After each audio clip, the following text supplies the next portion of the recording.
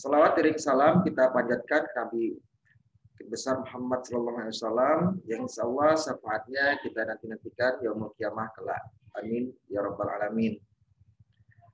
Uh, untuk kegiatan webinar hari ini, alhamdulillah di sini sudah ada beberapa yang hadir, yaitu presenter Ibu Emilda, uh, dan moderatornya juga sudah hadir, Bapak Iwan Wijaya, juga partisipan. Kami ucapkan selamat datang kepada Ibu Erni, Ibu Yuliati Mulyana.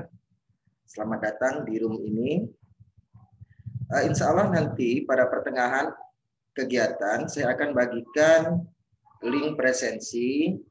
Saya harap uh, semua yang hadir di sini bisa mengisi link tersebut menunjukkan keberadaan kita pada hari ini, kebersamaan kita pada hari ini. Langsung saja Pak Iwan, uh, silakan untuk memulai acaranya. Pak Iwan, silakan.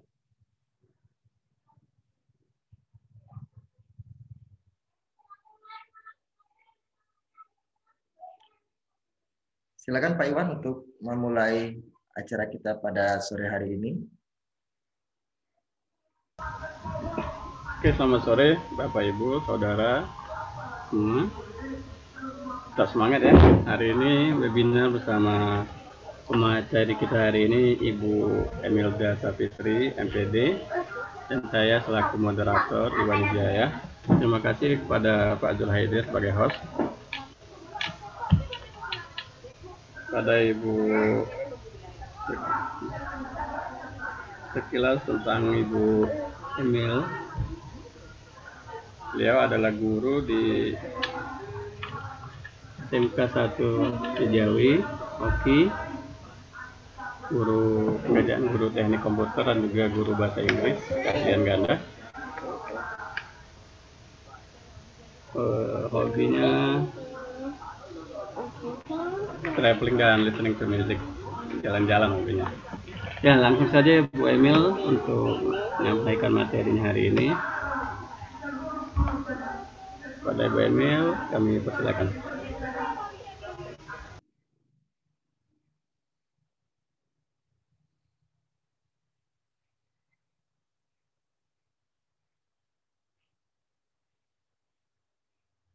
Eh, silakan Bu Emil di unmute dulu suaranya biar Oke.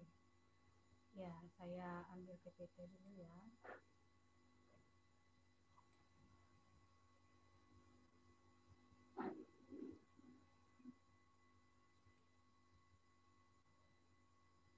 Coba ini Pak Zul, ini disable ini screen sharingnya. Bisa screen share, Ibu.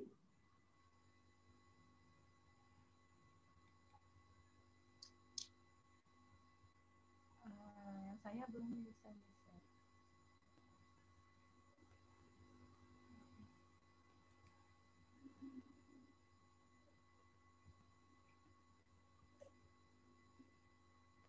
Silakan.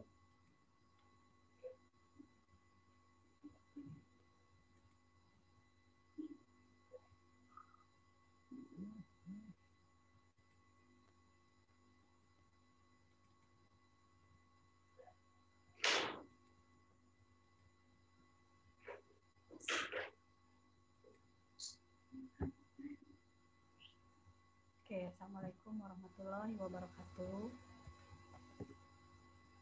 Assalamualaikum warahmatullahi wabarakatuh. Waalaikumsalam warahmatullahi wabarakatuh. Iya. Uh, puji syukur kehadiran Allah Subhanahu wa taala pada hari ini akhirnya uh, saya berkesempatan juga untuk memberikan materi ya yaitu mengenai tentang uh, mengembangkan kegiatan berpikir dengan mindset. Uh, Bapak Ibu dan adik-adik sekalian pasti pernah mendengar tentang mind map ya. Pasti pernah mendengar suatu kali. Namun mungkin ada di antaranya yang belum tahu apa manfaatnya bagaimana cara membuatnya kemudian uh, apa sih pentingnya menggunakan mind map ya, ya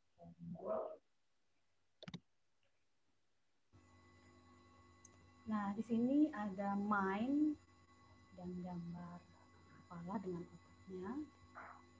Uh, mind berasal dari bahasa Inggris ya. Artinya pikiran. Nah, pikiran itu dikelola di otak kita. Kemudian apa yang ingin kita dapatkan dari membaca, melihat, mendengar itu diolahnya di otak menjadi informasi yang uh, dapat kita gunakan ya.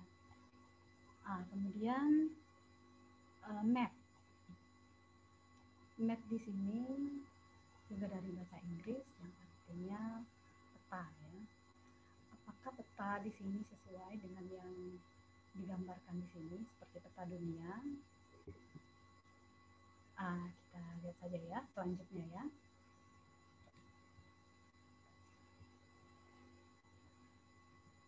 Nah, gambar di sini adalah uh, foto dari uh, Mr. Tony Buzan. Beliau ini adalah penemu uh, metode dari mind map. Penemu dari metode mind map pada tahun 1974. Uh, beliau adalah seorang psikolog berkebangsaan Inggris yang telah menerapkan konsep mind itu. Oke, kalau menurut beliau, mind map adalah pemetaan pikiran. Ya, pemetaan pikiran. Yaitu suatu metode untuk memaksimalkan potensi pikiran dengan menggunakan otak kanan dan otak kiri secara simultan.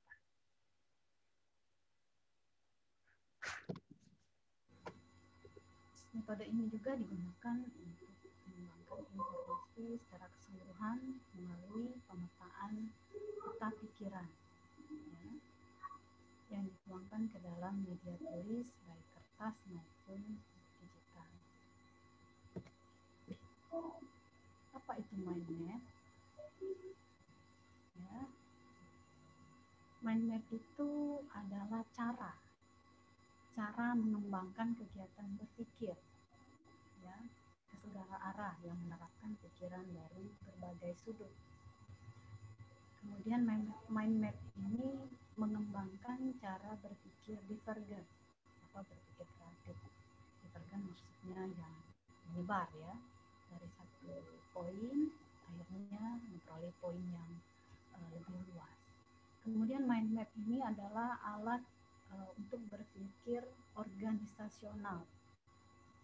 Nah, cara berpikir kita terorganisir ya ketika kita menggunakan mind map. Kemudian mind map ini sendiri adalah cara termudah untuk mendapatkan informasi, kemudian mengambil informasi itu ketika dibutuhkan.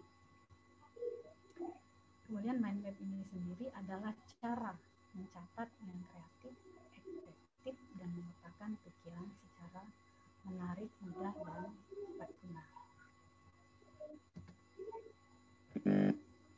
Kegunaan atau manfaat dari mind map akan memberi pandangan menyeluruh pada pokok masalah.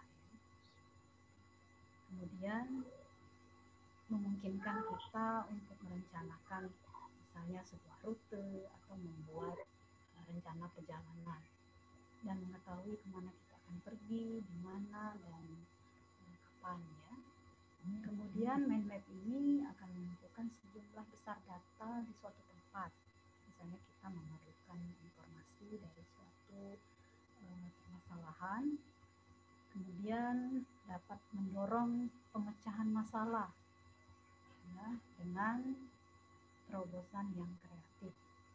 Kemudian mind ini menyenangkan untuk dilihat, dibaca, dicerna dan diingat. Nah, itu salah satunya ya kegunaan atau manfaat dari mind. Ketika kita menggunakan atau membuat mind itu akan mempermudah kita untuk mengingat suatu informasi atau untuk memudahkan kita mencerna, membaca informasi itu lebih efisien. Kapan mind map berguna? Ya, kita atau Anda dapat memperoleh ide baru. Ketika kita menemukan ide baru, kita bisa uh, mengkonsep sebuah mind map. Kemudian ketika kita ingin meringkas seperti siswa-siswa, anak-anak didik sekalian, ingin meringkas pelajaran, kita bisa menggunakan mind map. Ya. Kemudian uh, untuk mencari solusi atau jalan keluar, kita juga bisa menggunakan mind map untuk menyederhanakan uh, suatu permasalahan, kemudian menemukan jalan keluar. Uh, kemudian mind map juga berguna untuk mengingat, mengingat informasi. Uh, untuk siswa sekalian, mungkin menemukan permasalahan pada pelajaran yang studi yang sedang dipelajari di sekolah mungkin uh, materinya rumit atau bacaannya panjang uh, menuntut banyak waktu untuk mencerna informasi itu Anda bisa menggunakan mind map untuk menyederhanakan uh, seperti meringkas jadi ya tapi kita menggunakan mind map peta pikiran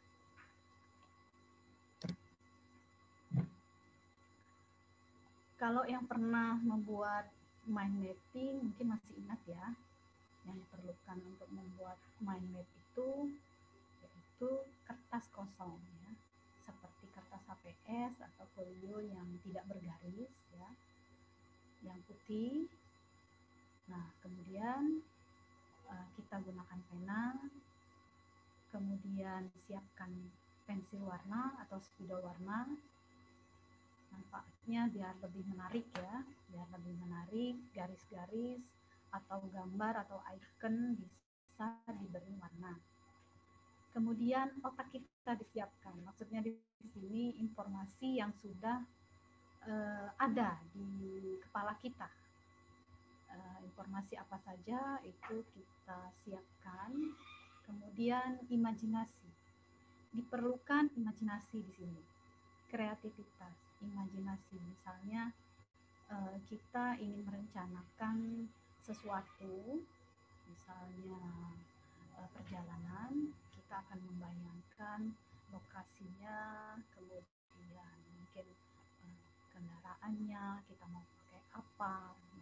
Situ kita harus berimajinasi, menggambarkan, ya, membuat agar mind map kita terlihat menarik ya kalau kita sudah membuatnya menarik, maka informasi itu akan uh, mudah untuk diserap dan diingat ya. Oke. Kita langsung saja ya. Di sini latihan membuat mind map. Uh, di sini dimulai dengan kertas kosong. Anggaplah yang di layar ini adalah kertas kosong. Langkah kedua, gunakan gambar ya atau simbol untuk ide utama. Nah, maksudnya di sini kalau kita menemukan sesuatu yang akan kita buat mind map-nya, siapkan dulu gambar inti atau simbol yang pertama yang utama. Di sini uh, contohnya adalah gambar balon ya. Balon yang berwarna-warni. Nah, gambar balon ini kalau misalnya di bayangan uh, rekan-rekan sekalian kira-kira uh, apa yang akan saya buat ini kalau ingat tentang balon biasanya tertuju pada acara ya pesta mungkin nah ya pesta uh, pesta ulang tahun oke okay. Uh, kemudian ketika kita sudah menemukan ide utamanya, kita tulis. Misalnya di sini saya buat birthday, birthday ya. Nah, kemudian hubungkan cabang-cabang utama ke pusat. Nah, ini disiapkan beberapa cabang. Kemudian uh, ketika kita ingin merencanakan uh, birthday party, misalnya pesta ulang tahun, apa saja yang akan kita eh, siapkan di sini? Cabang pertama misalnya tentang tanggal ulang tahun kita misalnya di sini. Kemudian cabang yang kedua misalnya kita ingin uh, tentang uh, apa itu namanya? Food ya makanan yang akan disiapkan dekorasi dan lain sebagainya. Bisa dituliskan di cabang-cabang yang pertama ini yang utama. Nah selanjutnya cabang itu cabang utama akan membuat cabang yang baru lagi seperti tadi misalnya ingin menunjukkan tanggal lahir kita. Ada bulan ada tahun umur ya seperti itu. Misalnya uh, food food tadi jenis makanannya apa ya minumannya apa kemudian yang hendak diundang misalnya siapa saja. Nah semuanya bisa dikonsep dalam mind nah ini uh, contoh yang sudah jadi ya misalnya seperti ini utamanya adalah kita ingin merencanakan pesta ulang tahun misalnya ya. Kemudian kita buat beberapa cabang. Misalnya ini seperti yang saya bilang tadi, eh, adik-adik atau kan ingin memberitahu dulu, menuliskan dulu tentang tanggal lahir kita, bulan atau berapa tahun kita.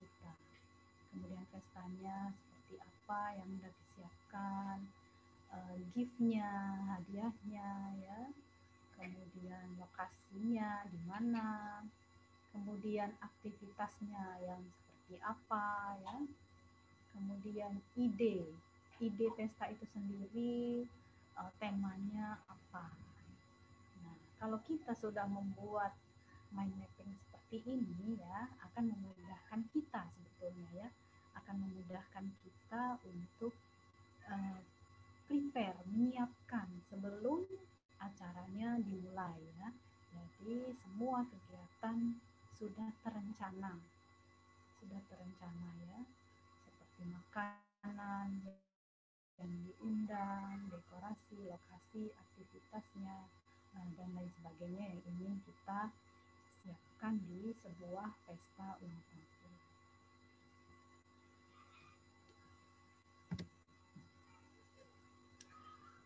Oke, sebetulnya mind mapping itu ada beberapa jenis ya. Jenis yang pertama yaitu mind map silabus. silabus ini atau mind map makro ya sebutnya juga nah, yang menggambarkan tentang apa yang dipelajari ya. Nah, kemudian biasanya ini dibuat dalam karton atau kertas besar yang ditempel di dinding ya. Nah, kemudian ada mind map bab namanya. Di sini yang dibuat ya berdasarkan rangkaian bab rangkaian bab dari sebuah buku misalnya. Nah, yang ditulis di mapnya itu berupa poin-poin penting, garis besarnya untuk mengingat isi dari sebuah bab atau isi dari buku yang dibaca. Kemudian mind map paragraf. Nah, ini lebih mengerucut lagi ya kalau tadi bab, sekarang uh, paragraf. Nah, mind map yang paragraf ini memberikan informasi ya secara uh, ringkasan dari setiap bab. Uh, mengetahui penjelasan menggunakan mind mapping paragraf ya. Isi dari uh, setiap paragraf. Oke, okay mind map merupakan media berpikir yang kreatif.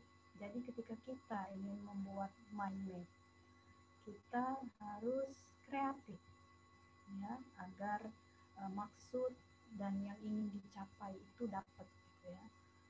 Nah, kemudian mind map ini memungkinkan otak untuk uh, menggunakan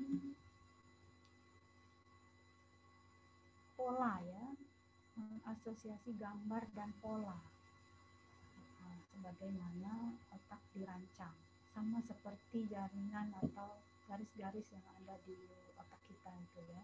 Seperti itulah eh, jaring-jaring atau garis-garis yang eh, menunjukkan peta peta mind map itu ya sama seperti otak kita. Nah ini adalah contoh lain dari mind map yang sudah dibuat ya Nah, contohnya ini adalah mencari goals ya. Misalnya apa yang harus dilakukannya agar tujuannya tercapai misalnya. Dia harus enjoy everything misalnya. Kemudian harus ada work kerja. Kemudian secara personalnya dia harus bagaimana.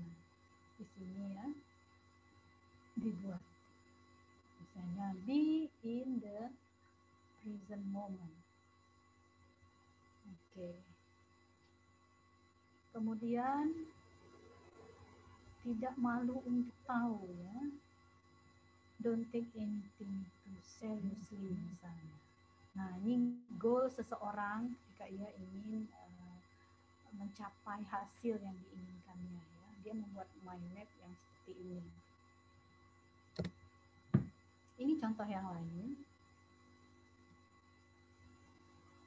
Tentang penggunaan mind map ya. Nah, ini uh, seseorang yang ingin membuat surat. Dia harus menyiapkan pembuka, apakah formal atau informal suratnya, kemudian tujuannya apa, kemudian siapa yang akan dikirimkan eh, surat, kemudian penutup, detailnya, isi suratnya, kapan, mengapa, apa, tempat, siapa, nah, semuanya dibuat berunut ya, terstruktur. Ini peta tentang bagaimana sih biar sehat mungkin ya.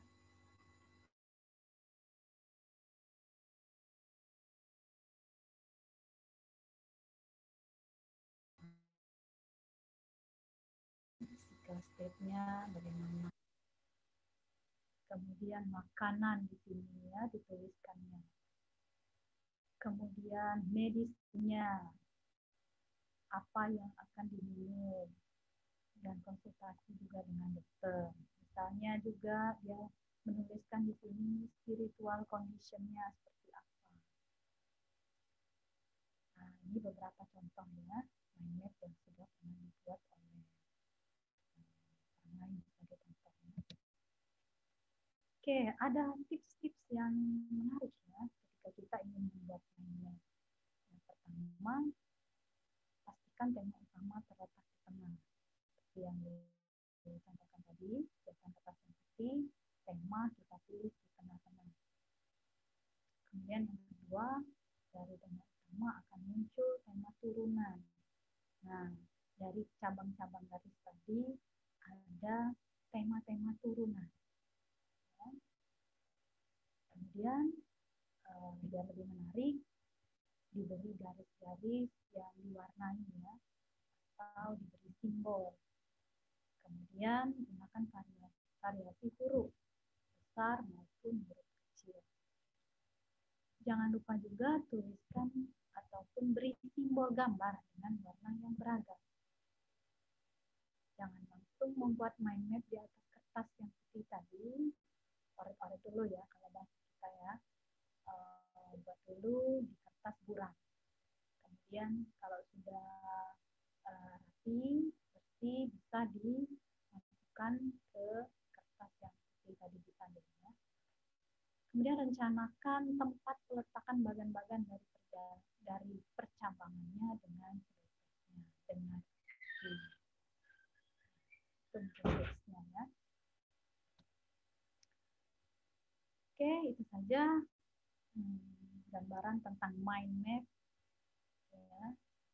Bagaimana cara kita mengoptimalkan pikiran kita dan merencanakan sebaik-baiknya menggunakan mind map agar solusi um, bisa didapat ya dan memudahkan kita dalam mengenai informasi, menyederhanakan masalah, memecahkan masalah, dan eh, mengingat mengingat informasi yang sangat penting ya, dari manfaat mind mapping.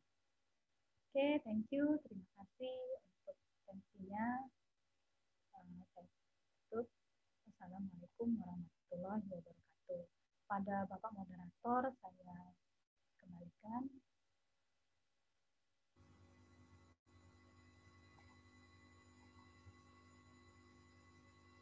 Demikian Pak Zul.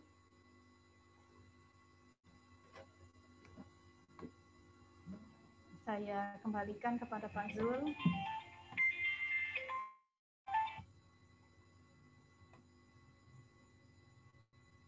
Sudah, ini Pak Zul. Saya kembalikan pada Pak Zul. Saya jadikan saya dulu. Oh, iya.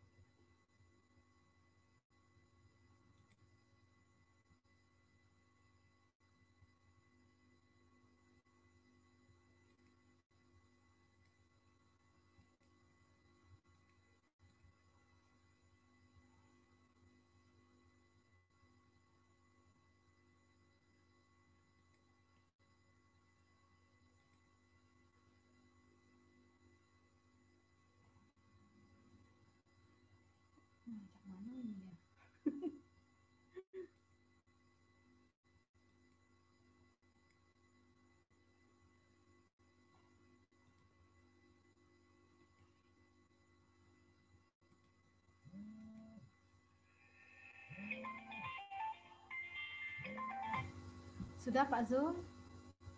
Sudah hostnya sekarang ya?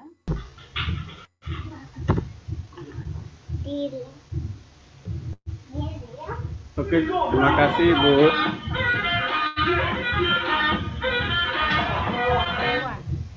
Terima kasih Bu moderator, Ibu presenter telah menyampaikan materinya hari ini.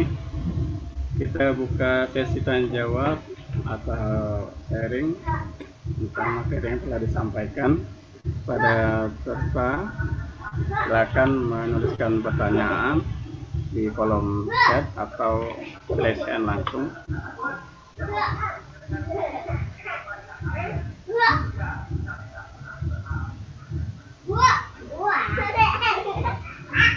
Bapak Ibu silakan yang ingin bertanya atau sharing pengalaman tentang mind map.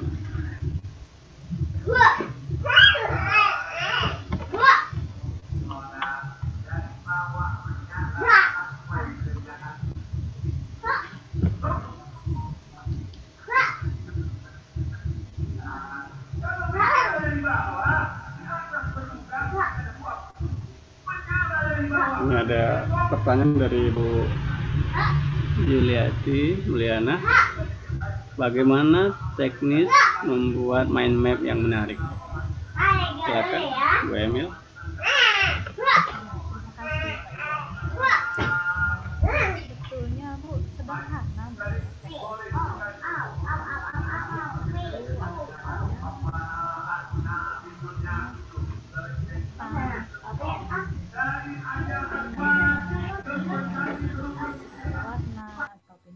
Warna Eh, kemudian teknisnya kita tinggal menuliskan melakukan. Kita cari solusinya atau yang tidak akan masalah apa yang tidak bisa kita dapatkan uh, solusi dari kemudian kita siapkan gambar-gambar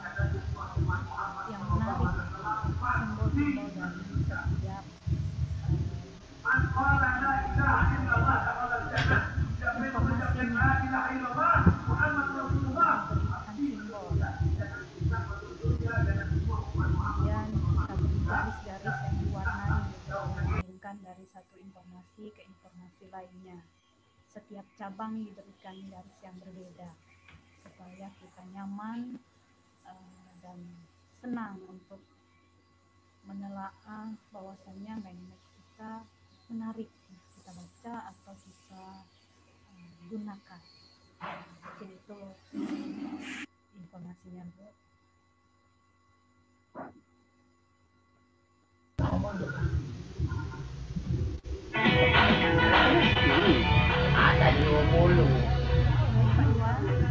Baik, terima kasih Bu Emil. Kita lanjut pertanyaan ke berikutnya. Bagaimana dari pertanyaan dari Pak Zulhaidir, bagaimana menggunakan mind map dalam belajar?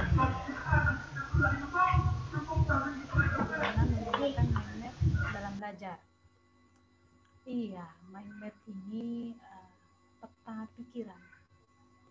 Ketika kita mempelajari sesuatu, misalnya posisinya sebagai seorang siswa, seorang pelajar, kita menemui kesulitan, kendala ketika kita ingin memahami suatu materi misalnya, Pak ya. Kita uh, misalkan kita tidak sebetulnya tidak tertarik atau tidak suka dengan pelajaran itu misalnya. Nah, bagaimana sih supaya mempermudah kita untuk mencerna pelajaran tersebut? Kita gunakanlah mind map. Bagaimana caranya? Sama ya. Seperti misalnya eh, di buku yang hendak kita pelajari atau bab yang hendak kita pelajari, atau materi yang kita dapat biar mudah kita mencernanya kita buat mind map utamanya apa misalnya tentang uh, sejarah misalnya kerajaan Majapahit misalnya kita buatlah poin utamanya yang hendak kita buat mind map adalah kerajaan Majapahit buatlah percabangannya misalnya. Mulai kita uh, setelah yang kita baca buku tadi kita memperoleh informasi ya. Kita buat langsung kita tuliskan. Misalnya tahun berapa kerajaannya berdiri. Buat cabang yang baru lagi cabang utama selanjutnya. Misalnya tentang uh, silsilah apa raja-raja di situ misalnya dan keturunannya. Kemudian misalnya daerah kekuasaan. Terus terus sampai peta peta mind map itu lengkap. Dan dengan sekilas saja kita jadi paham materi itu tanpa kita uh, membaca lagi. Di uh, buku tadi. Pak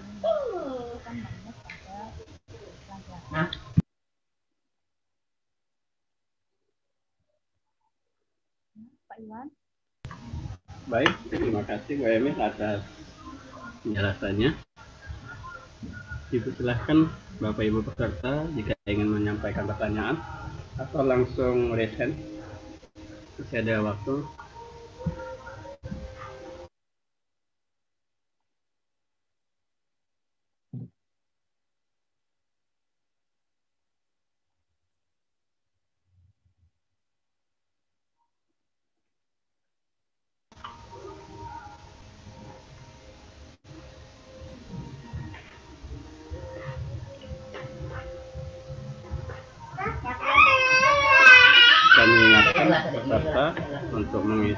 daftar hadir.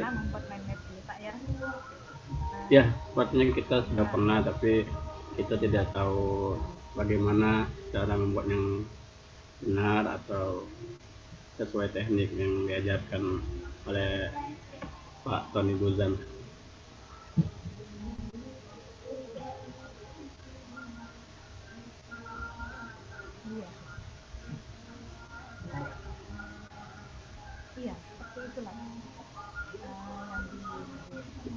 Jadi kalau kita bisa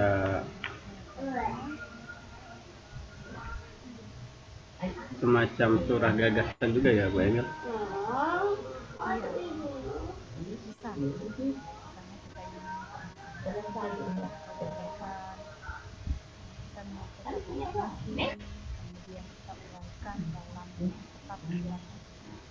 Hmm.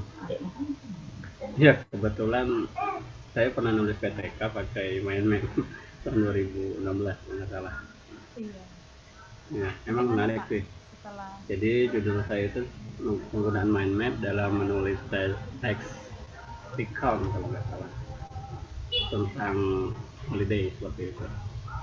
Jadi emang enak anak-anak dipancing untuk mengeluarkan kata-kata seperti itu. Iya, kata-kata kunci. Jadi ya kalau tapi memang untuk memulai mungkin agak-agak lumayan rumit kalau anak-anak yang memang belum terbiasa ya.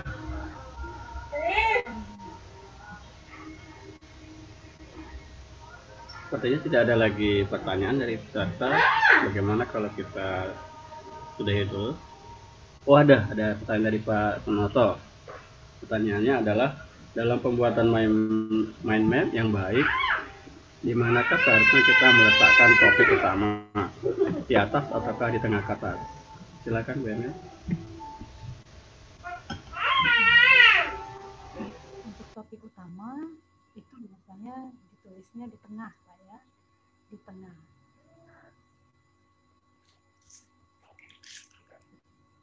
Di tengah, Pak biasanya.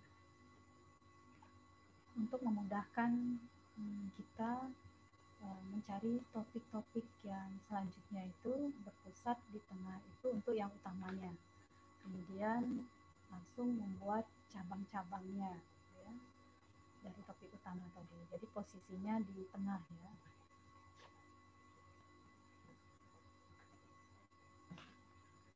Kalau kita tulisnya di pinggir eh, sebetulnya kurang ya karena kita itu kalau ini di jadi posisinya di tengah Demikian, Pak.